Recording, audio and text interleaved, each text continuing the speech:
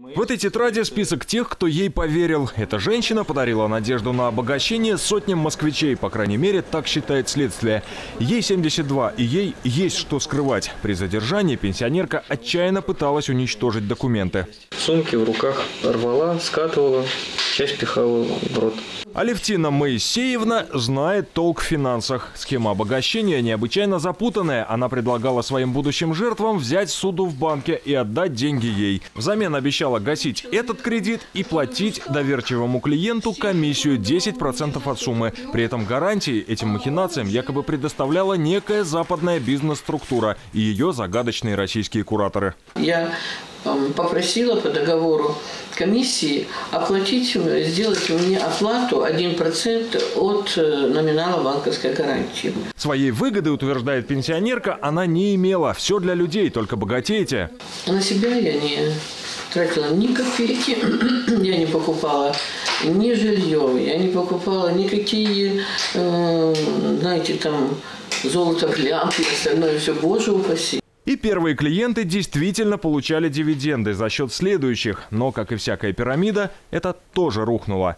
Этот мужчина задержан вместе с пенсионеркой. Он работал ее водителем, хотя начинал свое сотрудничество с ней как партнер. Так она называла эту роль. Он дал ей денег, взял кредит в банке и даже когда стал подозревать, что его обманули, согласился на нее поработать и убедился. Клиент Алевтины Моисеевны – это судьба. Ни зарплаты, ни обещанных богатств. В итоге этих денежных средств я не получил. Я получил за это 17 июля по сегодняшний день 30 тысяч рублей наличными.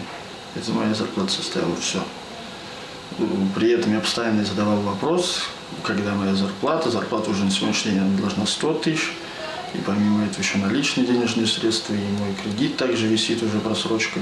В доме задержанной оперативники нашли архив документов. Предположительно, работала женщина не менее трех лет. И чужие кредитные карты – около 200 штук. Несколько ноутбуков и долговые расписки, судя по которым деньги поступали и от обеспеченных людей. Они приумножали свое состояние. Можно только сделать вывод о том, что это человек, обладающий определенными знаниями в области экономики, высшей математики, Соответственно, ну, как бы уровень образования, естественно, выше.